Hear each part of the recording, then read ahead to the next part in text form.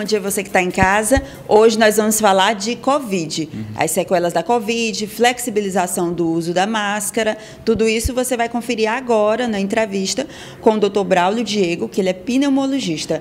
Bom dia, Dr. Braulio. Bom dia, Rayana. Bom dia a todos os telespectadores do programa Balanço Geral. É sempre um prazer estar aqui com vocês falando sobre esses temas tão relevantes na área da saúde. É, doutor Braulio, a gente passou por uma, uma grande, uma grande onda de Covid. E agora ficam as sequelas. Quais são as sequelas mais comuns de, desses casos de Covid, no caso da, da, nova cepa, né, da Omicron, que teve aqui no Piauí? Bom, eu gosto sempre de dizer para a população que a Covid é uma doença multissistêmica, ela pode acometer praticamente todos os nossos órgãos do nosso corpo. A Covid, é, desde o início das primeiras cepas, o que a gente observou é que ele, ela tem uma maior prevalência de causar sintomas no nosso pulmão. Então, é muito comum, Rayana, essa, as sequelas pulmonares da Covid. Então, a Covid causa uma pneumonia muito extensa, pode causar né, em algumas pessoas uma pneumonia muito extensa, e isso pode deixar uma complicação grave, que é fibrose pulmonar e sequelas pulmonares. Isso vai determinar nas pessoas, principalmente, falta de ar e tosse. Lembrando que também no pulmão, existe uma outra complicação que é muito comum, que é a trombose pulmonar. Então, a pessoa tem uma, um, um êmbolo né, um trombo dentro da artéria do pulmão, e isso vai determinar uma embolia, que é uma complicação crônica. Mas lembrando que não somente os sintomas pulmonares, a gente tem o acometimento em diversos órgãos, como por exemplo no coração, que pode causar uma, uma, uma inflamação, que é a miocardite. Nós temos também no sistema neurológico, que é muito comum causar tontura, é, as pessoas também podem ter perda de memória, é uma coisa muito comum e alterações até mesmo psiquiátricas, como, por exemplo, estresse, é, ansiedade, até estresse pós-traumático e depressão. Qual é a, a, principal diferença dos sintomas da Omicron para aqueles sintomas mais tradicionais que a gente teve no começo da Covid aqui? Isso, as primeiras cepas, Rayane, elas, é, elas causavam muito mais sintomas pulmonares, tinha uma tendência a causar sintomas mais graves, mas no geral, tanto a Ômicron como as cepas anteriores, eles têm sintomas semelhantes. Só que nas cepas anteriores, o que predominava, o sintoma mais característico eram alterações pulmonares e perda do olfato e paladar. Com a Ômicron, não. Os sintomas, o sintoma principal e mais característico é a dor de garganta, coriza nasal, febre baixa. Então, Aqui vai um alerta a toda a população. Sintomas leves que muitas vezes lembram uma gripe comum, como coriza nasal, dor de garganta, que muitas vezes a gente deixa passar, isso pode sim ser sintomas de Covid, principalmente nesse período que a gente ainda tem um alto número de casos. Crianças e adolescentes, elas também podem apresentar um caso, os sintomas graves da, graves da Covid ou da Omicron?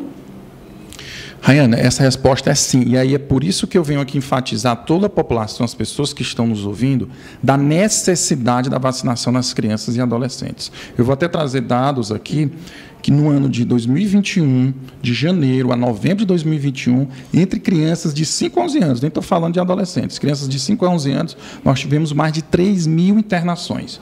Dessas, 25% foram em UTI e 4% de óbito. Ou seja, a Covid pode sim ser grave em crianças. É por isso que nós recomendamos a ampla vacinação de todas as crianças. Sobre a vacinação, como é que a, popula como é que a pessoa deve reagir em caso de reação? É, repouso, medicação? Rayana, na grande maioria dos casos que a gente observa são sintomas leves, complicações leves por causa da vacina, ou seja, dor no local da aplicação, é, dor de cabeça, sensação febril, febre baixa. E nesses casos, muitas vezes, são sintomas que vão passar em 24, 48 horas e melhoram com o uso de analgésicos e antitérmicos. Entretanto, caso você tenha sintomas mais graves, como falta de ar, inchaço, sangramento, que não é comum, a gente não observa, o que nós recomendamos é procurar assistência médica. Certo.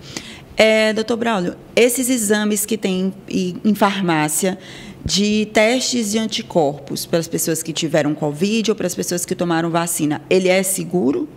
Eles são seguros ou eles são É, Raiana, aqui eu quero tocar até num ponto que as pessoas acham que quando se vacinam, elas obrigatoriamente têm que dosar a quantidade de anticorpos dela. E aqui eu venho dizer, isso não mede a sua imunidade, isso não mede que você desenvolveu a imunidade contra a vacina. Porque imunidade é algo muito mais complexo, ele envolve a, a formação de anticorpos, mas envolve também a presença de células de defesa. Então, muitas vezes, quando você vacina, seu nível de anticorpos vão estar altos, né? E esses níveis vão cair no decorrer do tempo. Então quer dizer que se você tiver nível baixo, você não está vacinado? Não, não é isso, porque você pode ter a sua imunidade pelas células, né? E assim, é, é, é, em relação à confiabilidade desses testes, o que a gente sempre recomenda é que você procure um laboratório, um local de referência, ou até mesmo uma farmácia de referência para que seja quando você for realizar esse teste. Sobre o isolamento, mudou agora o período de isolamento como é que a pessoa deve, deve proceder? Se tem sintomas, se não tem sintomas, se deu positivo, mas não tem sintomas, se tem sintomas, mas deu negativo, quanto tempo ela deve ficar isolada? Bom, o Ministério da Saúde mudou no ano de 2022 esses critérios. Nos anos anteriores, é, o isolamento se procedia de 10 a 14 dias, e agora a gente adot, foi adotado critérios que podem variar de 5 a 10 dias. Então, nas pessoas assintomáticas, aí eu coloco a minha opinião, né, a opinião pessoal, as pessoas assintomáticas, no quinto dia, o Ministério diz que se você fizer um teste e vier negativo, que teste? Ou RT-PCR, um teste de antígeno. Se esse teste vier negativo, você pode sair do isolamento. Eu, particularmente, resguardo esses casos para casos excepcionais. Normalmente, o, que o critério que eu adoto é sete dias, né? no mínimo, o mínimo, sete a dez dias. Então, são sete dias, se você está assintomático, não está sentindo nada, não tem febre, não tem sintoma respiratório, você já pode sair do isolamento. Tá? Se fizer um teste no sétimo dia e vier positivo, você tem que ficar isolado até o décimo dia. E as pessoas que no décimo dia não têm sintomas ou têm sintomas leves, elas já podem sair do isolamento também. Certo. Sobre a flexibilização do uso da máscara.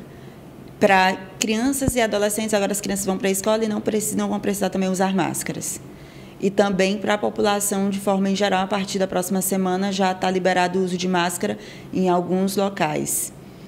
Isso é indicado? Quem deve ainda permanecer usando a máscara? Isso, essa flexibilização é, do uso das máscaras, ela vem de encontro com o que está acontecendo no mundo todo. É? Então, em alguns estados também no Brasil. Isso de acordo com as particularidades de cada estado. Como a nossa transmissão aqui no Piauí vem caindo, está baixa, e principalmente pelo fato da gente ter, de termos aqui no nosso estado é uma ampla vacinação da nossa população, já inicia-se essas medidas. O que vai iniciar na segunda-feira é, é a flexibilização em locais abertos, né, que é o que está acontecendo na grande maioria dos estados. Bom, e aí o que eu digo, é, é, é, uma medida que nós temos que ter bastante cautela. Né? Eu sempre, é, em, rela, em, relação à Covid, eu acredito que as medidas devem ser tomadas e reavaliadas a cada duas semanas, porque é o período que a gente observa o impacto nessas medidas. E assim, por mais que isso seja indicado, eu venho falar aqui para a população que algumas pessoas têm que manter né, é, é, é, a guarda. As pessoas têm que manter ainda essa proteção da máscara. E quem são essas pessoas? Em primeiro lugar, eu acredito que toda pessoa que queira usar máscara deve usar para se proteger. Se a pessoa se sente mais segura, essa pessoa deve usar. Acredito também que as pessoas que são de maior risco, como idosos, imunossuprimidos, portadores de doenças crônicas, têm que ter uma maior proteção, porque ele protege não é somente contra a Covid. Ele protege contra a tuberculose, ele protege contra outras infecções virais. É, quando você estiver em lugares fechados, como aviões, estágio, é, é, é, é, locais fechados em cinemas, esses locais também têm uma alta transmissão, então recomendo que seja utilizado somente em hospitais, né? profissionais de saúde. E aqui vem uma dica para todas as pessoas. Se você tem sintomas gripais, coriza nasal, dor de garganta ou até mesmo febre, o mínimo que se recomenda é que você use uma máscara. Né? Se você tem sintomas, na verdade você deveria ficar isolado em casa. Mas é, se você tem sintomas gripais, eu sempre recomendo que use máscara para diminuir essa transmissão para outras pessoas. Certo. É, eu queria agradecer aqui a sua presença. Queria que você deixasse também um recado para quem está em casa, que ainda está preocupado com a vacina e também que no interior, lugar que a gente tem uma grande quantidade de audiência, as pessoas ainda estão ainda sem se vacinar. O índice de vacinação no interior ainda é baixo. O que é que o senhor fala para essas pessoas? Bom, então, em primeiro lugar, venho agradecer o convite, né, é, de vir falar sobre esse tema tão importante. Eu venho alertar todas as pessoas, né, que a gente teve uma grande, principalmente você que está aí, que não tomou a sua vacina, não tomou a sua segunda ou terceira dose, que a gente teve uma grande diminuição nas complicações, nas internações e nos óbitos do Covid, e isso se deve à vacinação. Né? Então, procure se vacinar, procure estar junto desse grupo de pessoas que estão protegidas para que a gente consiga seguir a nossa vida sem grandes percalços. Certo. Lembrando que essa entrevista você confere daqui a pouquinho na íntegra no portal a10mais.com. E eu volto agora ao estúdio com você, Chico Filho.